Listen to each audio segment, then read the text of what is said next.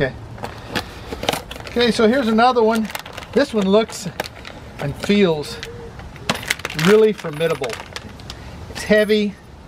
It looks all steel-like and chrome, and but again, it's a piece of junk because it, of the material that it's made out of.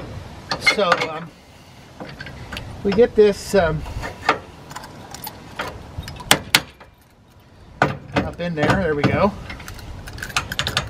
Then put the lock on. There we go. Now we got it.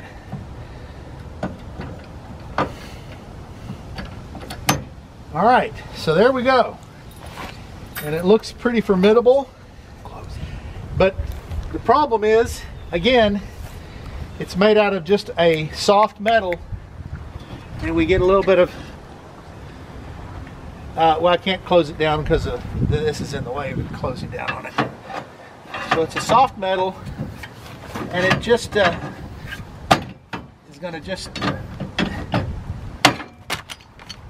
pry right off of there. Um, you can see it almost broke. Actually cracked it. we cracked it it's cracked all the way through right here and just let it come right off